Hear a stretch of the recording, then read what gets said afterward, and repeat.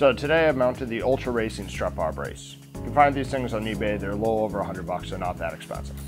It's a strut bar brace. Take all four bolt uh, nuts off, two for each strut, slide the brace on, tighten the bolts, you're done.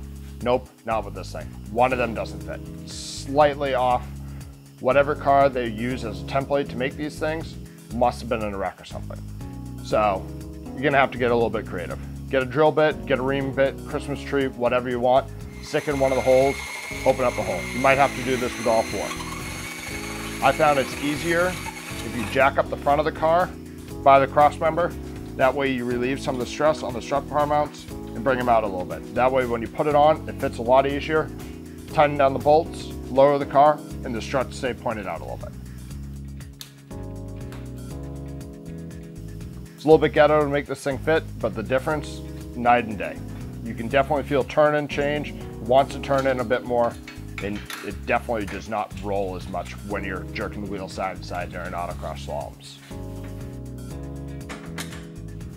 Overall, this is the easy thing you can do to your car to improve your suspension, handling, but be mind, it's not gonna fit right out of the box. You're gonna have to do some work.